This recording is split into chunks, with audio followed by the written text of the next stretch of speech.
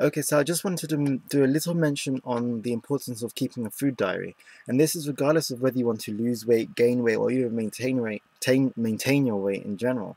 So it's actually been proven that people who actually do keep track of the foods they eat daily um, in food diaries are actually more likely to lose more weight than those who actually don't use food diaries.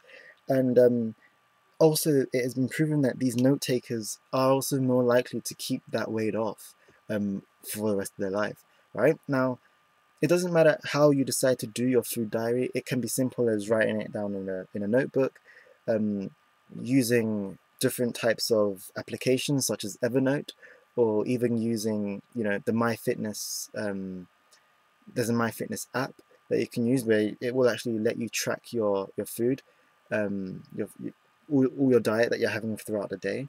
Okay, so um, at least if you know exactly what you're eating each day, if you really want to tackle your weight goals, you will be consistent in writing down each and every day exactly what you're eating, how much of it you're consuming, and how many calories it is. Not particularly that important, but specifically about the portion sizes and um, how many meals you're having um, in particular. And of course, you try to show how much of that is coming from the protein, carbohydrates, and, and fats, macronutrients. Okay, so at least by keeping this diary, it actually help to show you whether or not you're getting enough um, nutrients and minerals, and in particular fruits and vegetables, because not enough people are getting their five a day. And in fact, in fact, I think studies have now come out showing that the body actually needs seven fruits and vegetables a day, not five. Um, five is just the bare minimum, but seven is what actually needs to perform at its optimum, right? So again, it's the same with regards to whole grains and fats and making sure you get enough protein as well. So you will also be able to figure out whether or not you're eating too many foods that are not good for your body too, right?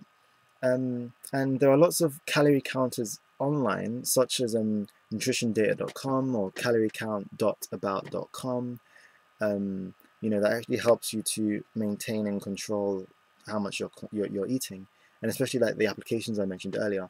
Okay, and you can also use a pyramid tracker at mypyramid.gov. I'm not sure if it's still available now, but take a look.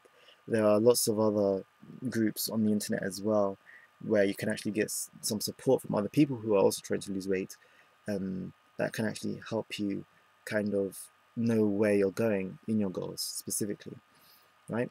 So, um, and it's even better, especially if you do use the app on your phone, especially since that will actually let you, it will actually calculate how many calories you, you have consumed just from the weight or the portion sizes of your foods, which is great. Okay.